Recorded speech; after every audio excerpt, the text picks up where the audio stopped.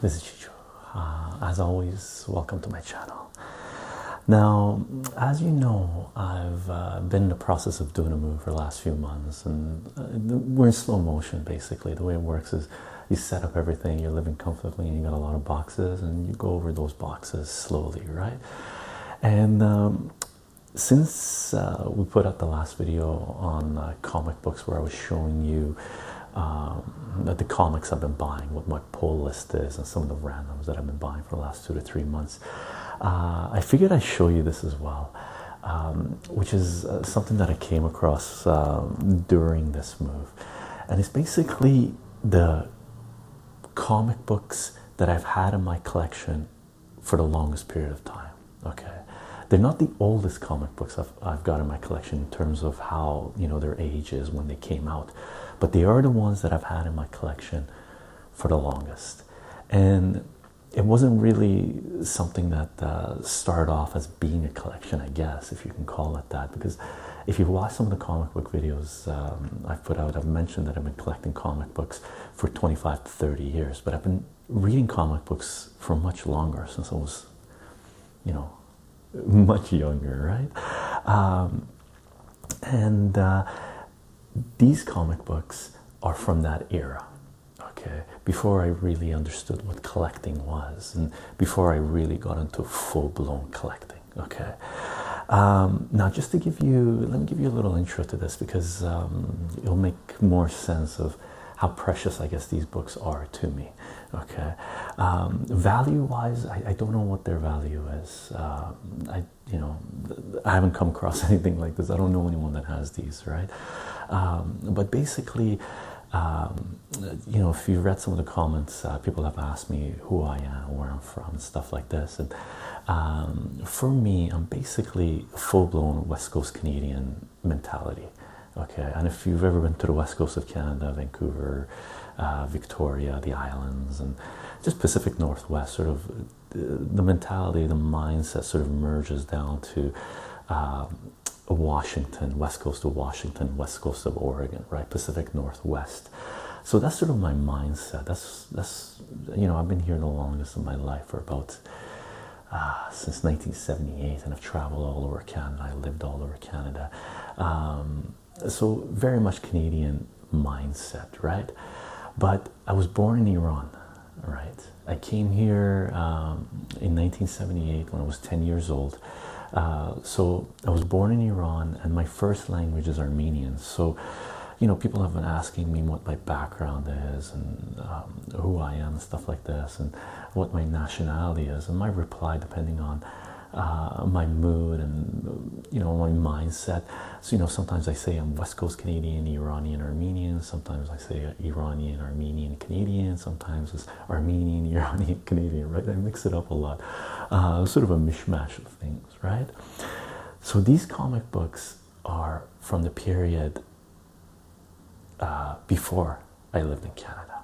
Okay, and I remember having other comic books as well, but when we were doing, you know, immigrating to Canada, uh, you can't bring everything, right? And I remember uh, when we were younger, we had like when we were moving, we had to get rid of everything, right? So almost everything. So you know, we had garage sales, if you call them garage sales, just sales and yard sales back there, and we had our toys and stuff, and you know, people were coming in from the neighborhood and just buying things, you know, just for little money and stuff like this. So I'm pretty sure I got rid of the rest of my comic books during that period um, because I do remember having some X Men's, right, uh, from Iran. Uh, and unfortunately, you know, there's only so much you can bring, right? So X Men really stood out for me uh, from that period, uh, you know, when I was like, I guess, eight, nine years old, right? Um, and you know they didn't make their way here to me to Canada. Uh, so I'm assuming they were either thrown away or one of my friends grabbed them or I gave them to them or something happened to them, right? But I did happen to bring these ones, and I'm, you know, I don't remember uh, how many of these I had, but I do remember these were really important to me and, and they are very important to me. And they're basically some of the comic books that I know a lot of people around the world um, is how they got into comic books or the first set of comic books they've read. And these are my Tintin collection, okay?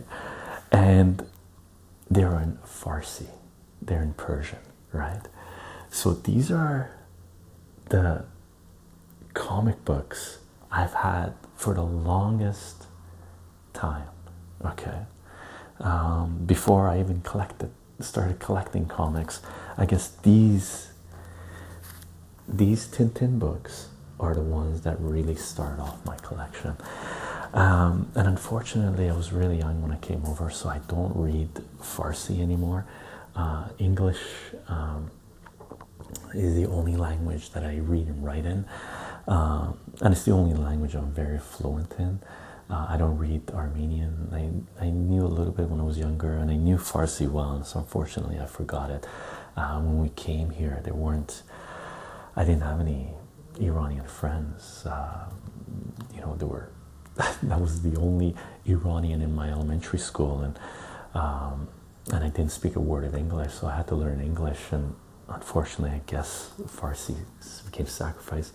So this is this is one of them, um, and I've read some of these in English um, after the fact, right? But I remember reading these things. Is just the covers, right? in Farsi, you read, you know, this way from, I guess, right to left, uh, as opposed to reading this way, right? So everything's like sort of like manga, right? Uh, and these are these are the comics, right? Hopefully, they can focus.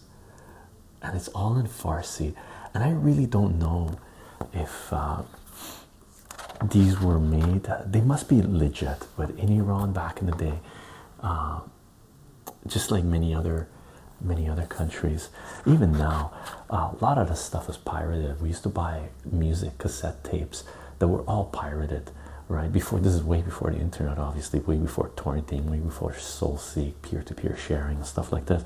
So the only way you could get your hands on certain types of music was pirated music right? Cassette tapes.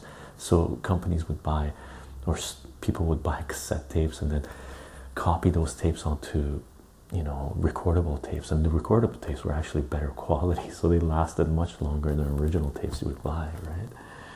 Um, and i'm guessing some of the comic books i did have in my collection were were uh, also, were also pirated but i'm not sure about these ones if these were pirated or not right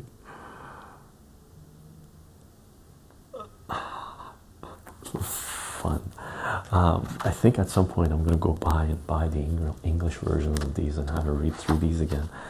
Um, but I loved Tintin, really. Tintin and uh, Asterix, I think it was a French comic book, and Tintin, I think, is from Europe. I think it's Belgium. Is it Belgium? I should have looked this up beforehand, right? So this is one of them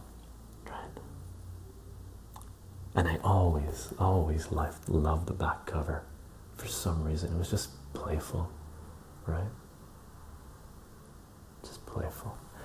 So, one, right? And if you read these, uh, I hope you love them as much as I do. Uh, the pirate one I loved. Wow, wow, wow. Awesome, awesome, right? Fantastic. Oh, I remember this.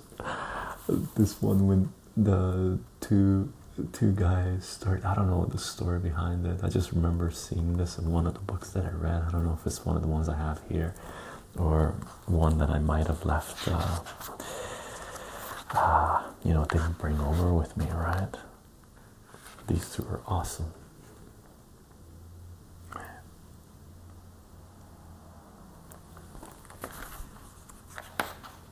and then I think this one is uh, yeah that's right this one he talks about he talks about his one of his ancestors that's a pirate think they go back in history and talk about oh yeah there it is this is So he starts talking about one of his ancestors that was a pirate, right? And talks about his adventures. And they flip between him telling the story and going onto the ship, right? Having flash, well, not flashbacks, but remembering his ancestor, the story behind them. So that's a pirate one. So there's two. This one was fantastic. I think this was going to Egypt, uh, one of the pyramids or something, maybe. I don't know.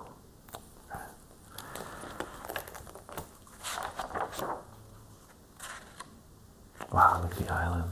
Remember this one.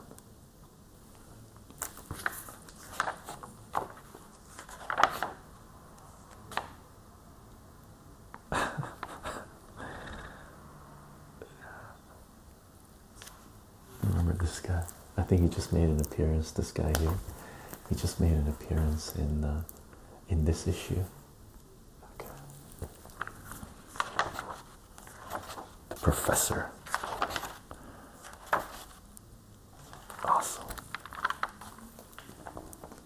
Fantastic. And Tintin comics are uh, comic books are amazing. And one thing that surprised me, as you know, um, if you've watched some of the previous comic book videos, you know I have doubles and triples of some stuff that I've collected just because if I like something, I like, I don't know, I just buy multiple copies sometimes, and sometimes it's for investing too, right? Uh, you know, there's some, some no-brainers. There's first appearances that come up. There's, you know, not a bad idea to grab a couple of copies if they're going to be, if you think they're going to be important issues, or there's some writers coming up, or independence, low print run stuff.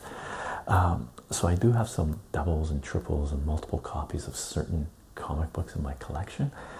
And I guess uh, this is something that I did back in the day when I was younger too, because I got two copies of this one. I don't know why. I really don't know why. Um, one of them might have been uh, someone else in my family that had it, and I just sort of inherited it, I guess. Uh, if you watch some of my previous videos, you'll know what I mean. Uh, this one too has that professor and, uh, and whatnot. The color scheme for these is amazing.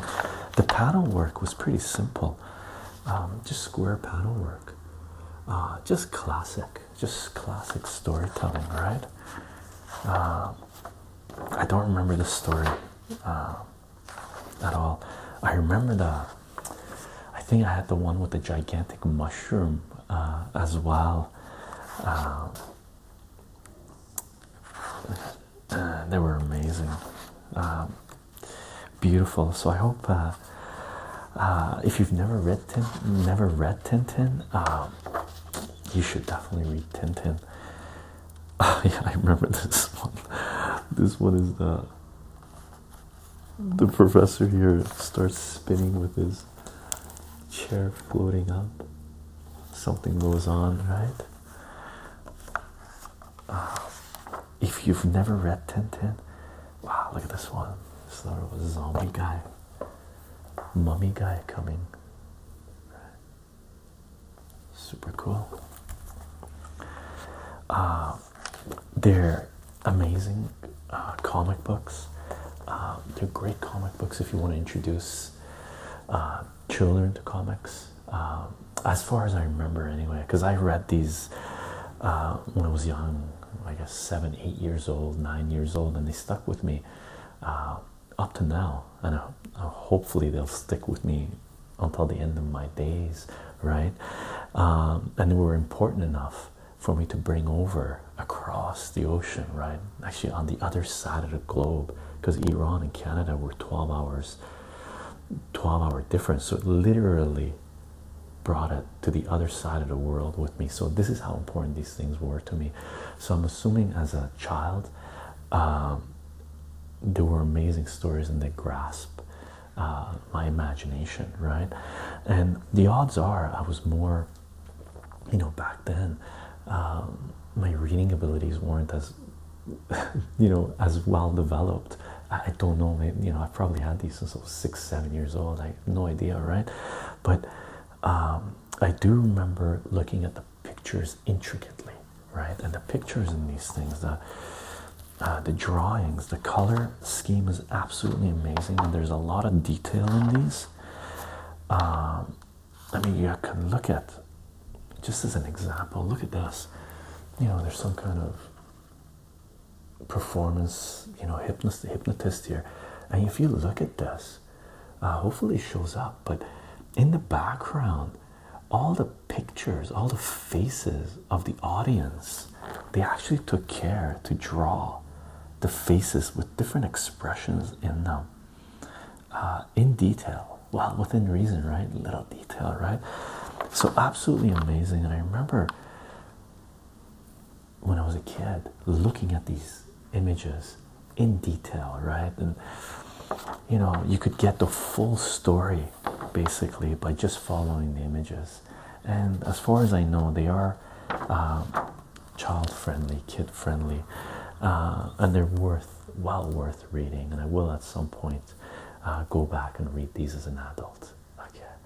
Uh, I thought you'd get a kick out of this. Um, for those of you who are following me or are subscribed to my channel for the comic book videos, and these are the comic books that I've had with me for the longest period of time, and that would be 40 plus years.